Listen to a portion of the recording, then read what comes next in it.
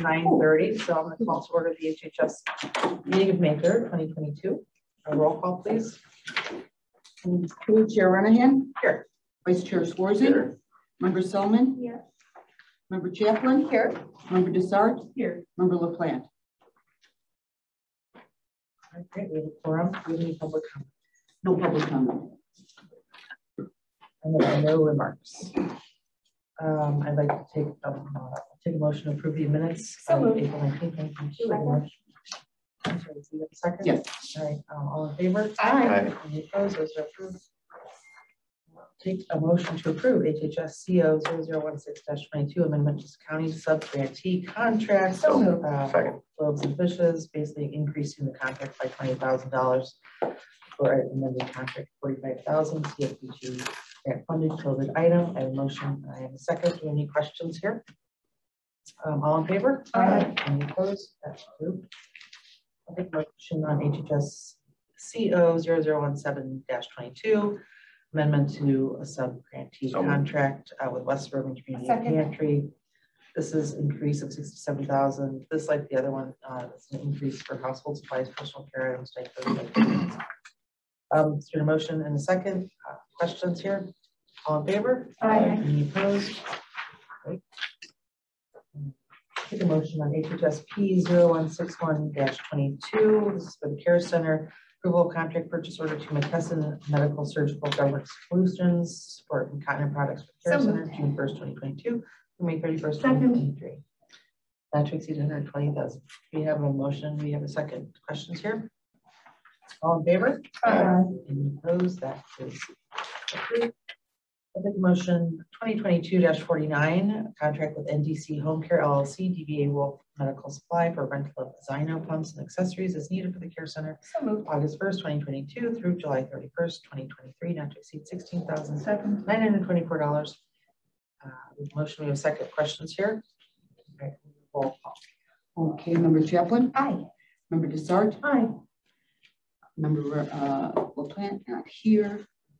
Member Selman? Aye. Or Member Schwarze? Aye. Chair Renehan? Aye. All right, great. Thank you. That's approved. Uh, I'll take a motion to approve uh, authorization for overnight travel for information So moved. referral manager to go to the Illinois Department of Commerce Second. Economic Opportunity, CSBG twenty twenty-two mandatory federal grant training, May thirty-first to June first, twenty twenty-two. Three hundred seventy dollars in Springfield. We have a motion. We have a second. Questions here? All in favor? Aye. Any opposed? That's approved. Um, on eight B, we basically have the same authorization for overnight travel, but this is what, two people, Mary? This is, well, there's two people going to this conference. Oh, this one, person- okay. Person A is riding with person B, and so person B is getting mileage, so that's why there's. Right, that's why we got a little difference in the amount. This is six hundred and forty dollars, also CSBG grant funded, same conference. Second. Motion second, all in favor? Aye. Any opposed? That's approved. Um, I'll take a motion to combine consent items 9A, B, C, and D, these all decrease and close due to contract so being expired. Second. Motion and a second. All in favor? Aye. Any opposed? Those are combined. I'll take a motion to approve uh, 9A, decrease and close pulmonary exchange, $10,190. 9B, decrease and close Medline, 14000 Plan C, Richardson Close American Bottling Company, DBA Dr. Pepper Snapple, $36,617.17. And 9D, Lakeshore Dairy, decrease the close $29,889.22. Um, we have a motion, yes? We have a motion to combine. So I have a motion to approve. Great, okay. All right, great, thank you, Member Solomon, Member to Um, questions on uh, approving these? All in favor? Aye. Any opposed? Great, those are approved. Moving on to residency waivers. Is this one? Just one, Just yes. one, The other okay. one's a presentation from, All right, great. Hi, Janelle. Good morning. Good morning. We, we do have a request for a residency waiver. We currently have 23 male and 39 female beds available at the care center. Three beds have already been offered to DuPage County residents, so there would be no um, DuPage, DuPage County residents displaced by these applicants. So the applicant is an 89-year-old looking for admission to the care center. Um, They themselves lived in DuPage County from 70, 1972 to two- 2016. Um, Family has had another member at the care center under short-term rehab and states they received excellent care. The family lives in Glen Ellyn since 70 72 and has had a business in Glen Ellyn from 1993 to 2021. Right, So I'd like to move to, um, a second, allow this person residency. Okay, we have a motion, we have a second. Questions, any other questions, comments here? All in favor? Aye. Any opposed? Sounds like an excellent match, Janelle, thank you. Good. All right, moving on to DuPage Care Center update. Janelle. we're gonna be Everybody has this document? Yes. Excellent. In the essence of time, I'm going to move along quickly, but I'll try and pause for questions. Um, I do have one update real quick. We are um, back on outbreak status. We did have an positive employee. Um, so that affects one unit and everyone um, in rounds of testing has tested negative. So we're still in outbreak for a period of time. Um, and hopefully everyone will continue to stay negative, but I just wanted to share that with you. All right. So um, obviously the first page is the agenda. Um, then I included uh, nurses station, existing conditions. This is from the presentation that was uh, provided to you all in um, last year. So this is just a reminder of the current state from our prior presentation. That's what these photos are. So you can see the different nurses stations and the um, clutter. Turn the page, again, that's a view behind the nurses stations. It, it just depicts um, inefficiencies, lack of organized space. There is cracked and laminate, uh, broken laminate all around on the nurses station in these desk areas, which obviously creates a porous service um, that's difficult to uh, keep clean or in fact unable to keep clean, which becomes an infection control issue. So then we have our first rendering from night um, and you can see the nurses station on the left of the picture. Then you see the seating common area dining space for that particular unit. Down below that, you see uh, they've included a copy of the existing condition from the same view. The benefits would be obviously flexibility for multiple activities to run concurrently, uh, fresh residential finishes with a wood stone on that stone wall, which I tried to get another rendering, um, but I don't have that yet. The stone wall will include a fireplace, so really creating a, a really nice home-like environment.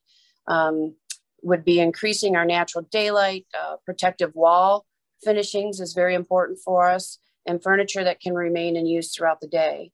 So the scope of this work would include new vinyl floors, new wall finishes, built-in cabinetry, uh, activity supply storage, new ceiling finishes with two by two LED lighting, and the new nurses station. So any questions on this before we go on to resident rooms? I do, I'm kind of furniture that remains in use throughout the day. What do you, what do you currently have going on? Is disassembly or what is this? Um, it shifts between activities and dining. There is some shifting just based on, on the tables, but it's all done in the same space. Okay. Any other questions? Anyone to this point? All right, great, go ahead. All right.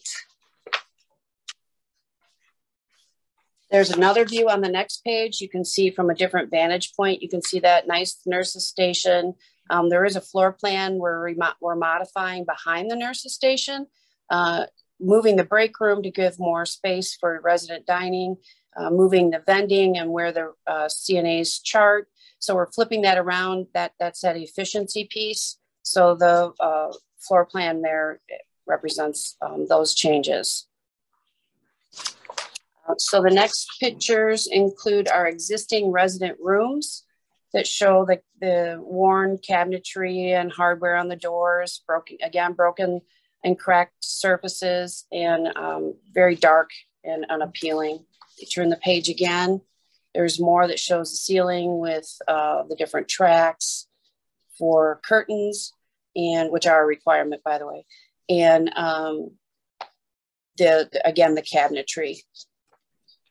So when you go to that next page, you see our first rendering of a potential resident room. Um, they're using the Mora system, so you can see the different cabinetry options and we can modify it however we need.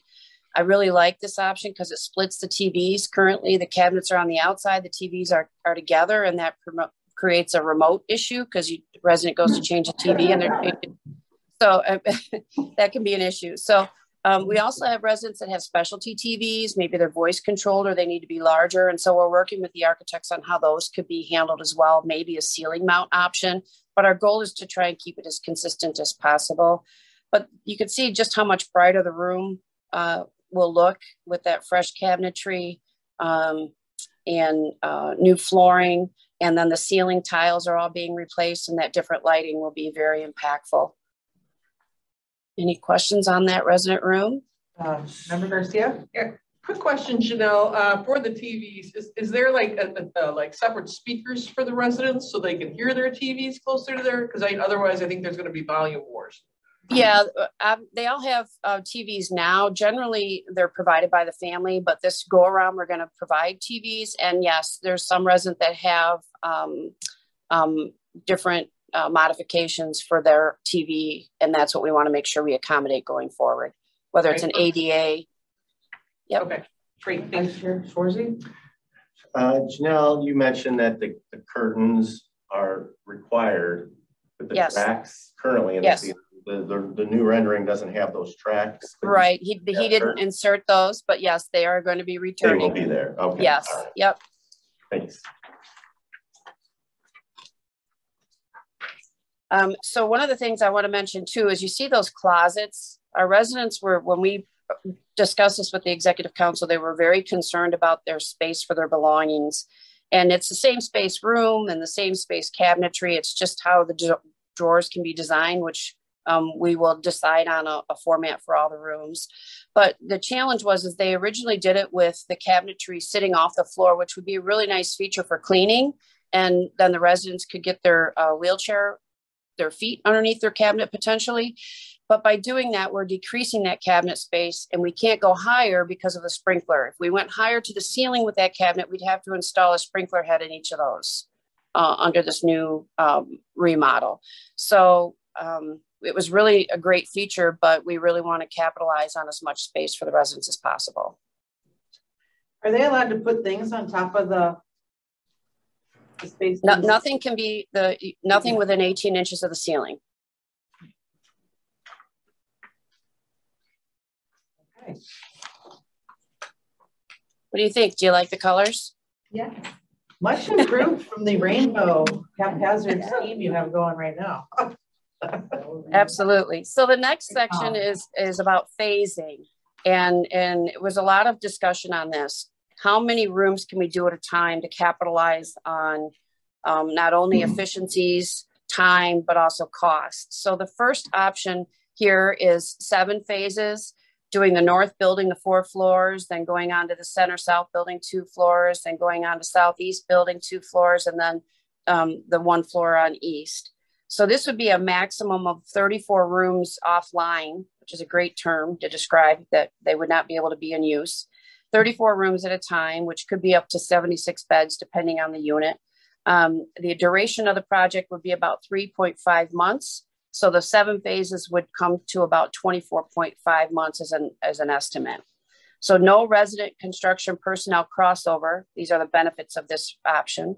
We would limit dust, noise, smell complaints, and the logistics for having a nurse's station offline are simplified. So if we did a one wing at a time, um, there are rules about the visibility from the nurse's station. Would you have to create a substation? Um, so those are things to consider. So this is the one option. If you turn the page, the next option would be doing like a wing or a wing and a nurse's station at a time, which comes in at 15 phases at least. Um, that would be max of 13 rooms offline. Um, that would be 2.5 months per phase, but with 15 phases, that puts us um, at 37.5 months. So option two adds an additional 13 months. So there would be a longer duration. They'd have to add temporary walls, barriers, demo to contain all of that. Um, the subcon it would add dollars to the subcontractor bids, mobilization, escalation, and inefficiencies. And then other concerns would be obviously more susceptible to resident complaints for dust, noise, smells. And then they'd be sharing an elevator, which given our current state would not be um, good. So uh, the, la- the the next page then is like a Gantt chart showing you the timeline and how much longer that would be. So this was a, you know, obviously our, our goal is to grow our census post uh, pandemic. We really need to grow our census back up because of that loss of revenue. Um, and how far can we grow it um, over this period of, of three years? So we're going to have to limit if, if we choose option option um, one, we would have to potentially limit our growth in census because anytime you do a construction in a facility like this, there is offline beds that you have to take into consideration. So when we looked at this, um, there really seemed to be a no-brainer once you once you also consider the cost. So let's go to that last page there on this topic. So you can see the phasing cost, seven phases comes in at a total cost of 18 million four. The 15 phases comes in at 18 million eight, so almost nine. But then you have to add all these other components. So labor inefficiencies, temporary construction and general conditions, which would add an additional $2 million to the cost of the project. So we would essentially be taking 2 million off the top of our available dollars to try and touch as every space of the care center as we can just to accommodate a 15 phase plan versus a seven phase plan. So um, we've decided to go with the seven phase plan um, with our bed of uh, licensed bed capacity. Um, it may require a lot more juggling, like if we have an infection control issue and moving residents around um, to accommodate that. Uh, but the team has become very well versed at moving people because of COVID. Uh, so we feel that the option one is our, our best option.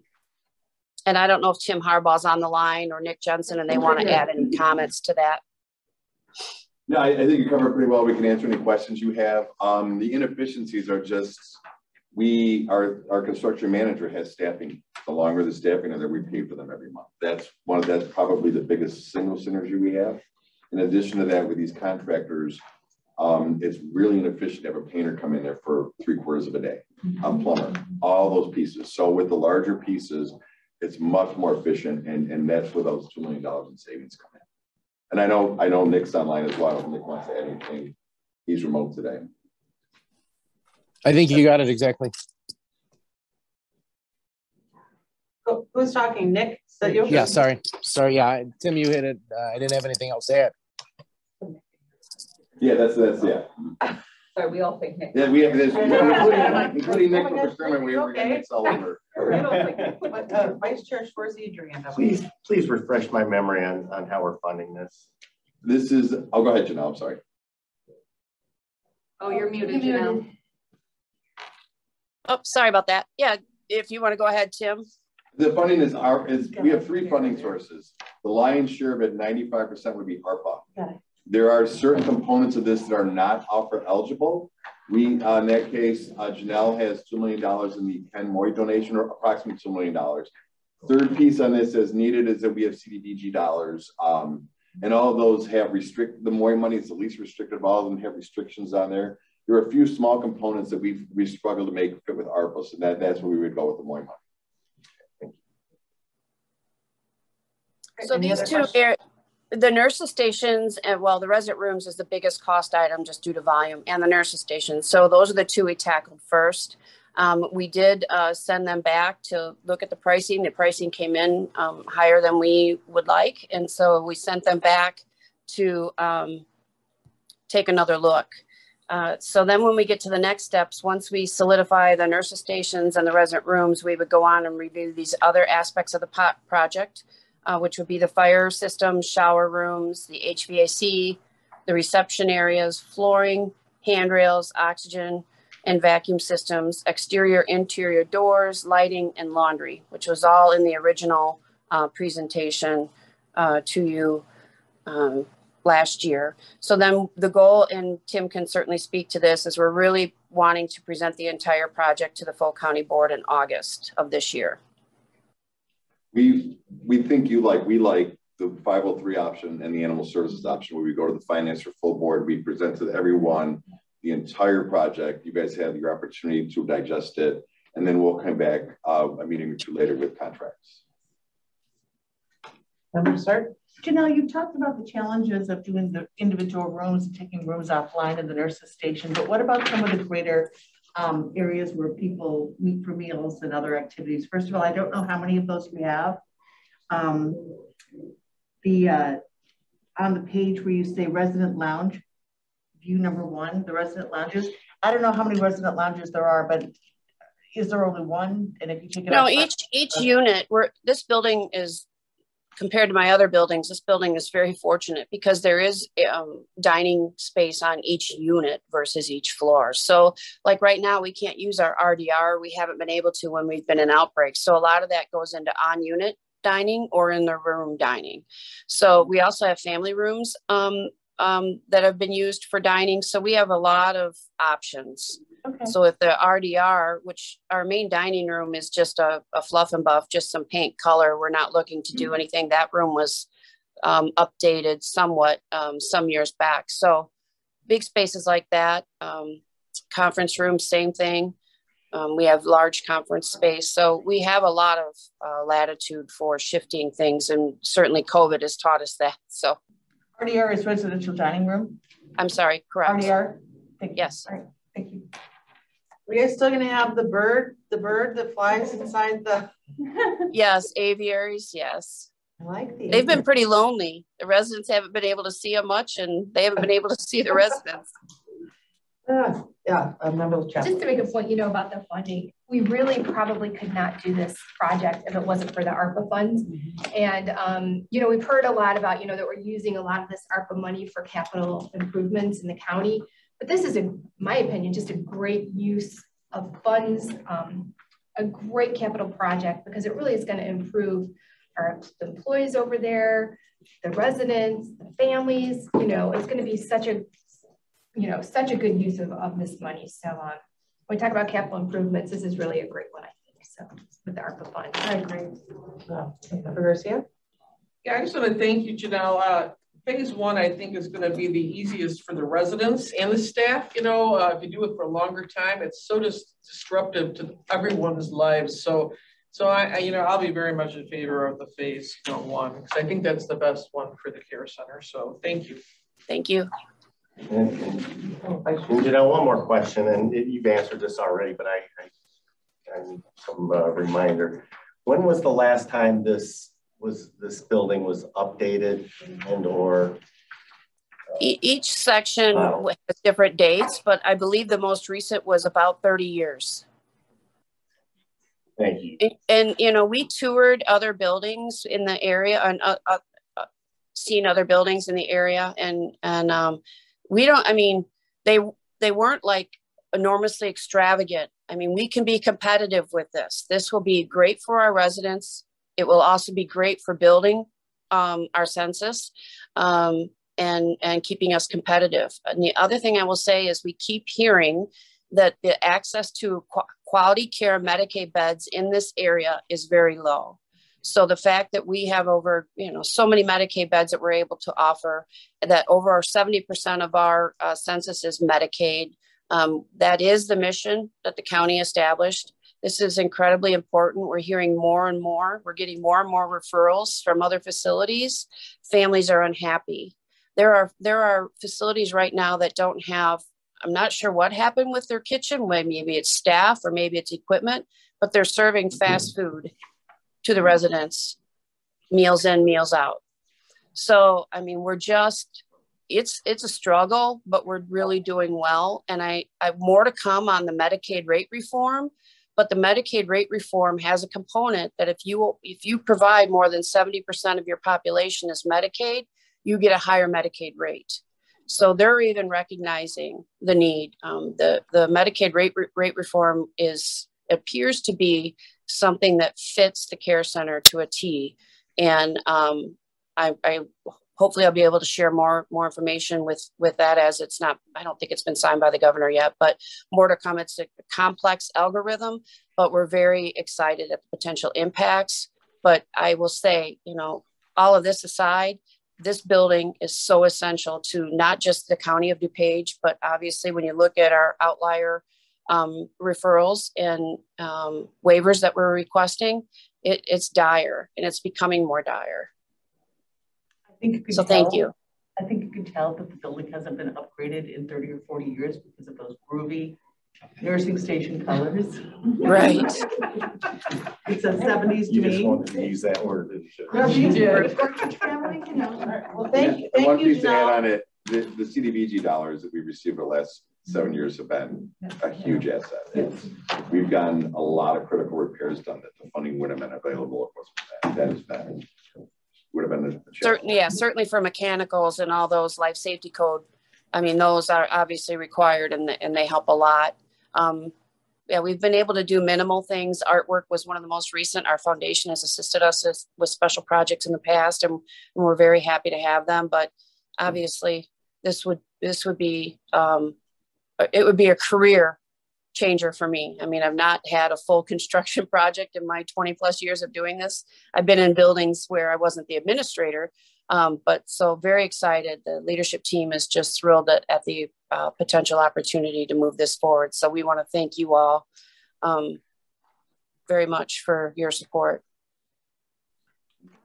Say, well, thank you, Janelle. Thank you, Tim. I mean, it's, I think it's exciting for all of us. You're coming to us first, sharing all the news.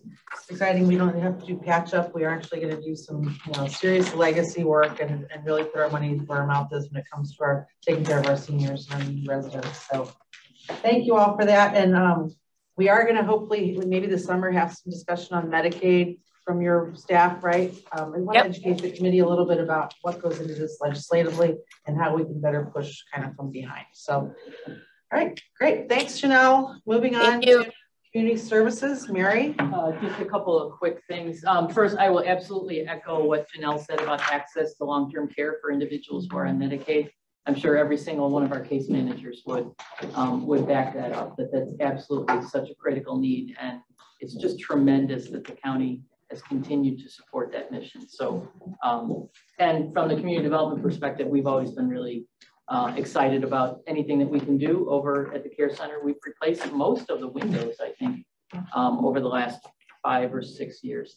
Um, uh, Giving DuPage Days kicked off yesterday. Um, as of this morning, we're at uh, approaching $100,000 raised of the $500,000 goal. So, you know, after day one to be um, 20% of the way there, I think is, is great. So um, there's 95 organizations that you can support. So I encourage you to go on and see if there's maybe some new organizations you don't know about. You might want to throw them 10 or $15. So, um, and then uh, there's a lot going on with the, the uh, DuPage uh, Transformation Partnership. As I said last time, the letters of intent um, are in. Uh, we've gone through and kind of weeded out the ones that we wanted to invite for a full application. So that process has happened. Um, but we're also in the process of doing the uh, information sessions for the transformational grants. There was one uh, Friday, and then there's one this afternoon at two o'clock. Uh, that's pretty much all I have. Thank you. All right, thanks, Mary. Good old business. Your new business, All right? Take a motion to So adjourn. moved. Second. All in favor? Aye. All right, great, great, thank you. You.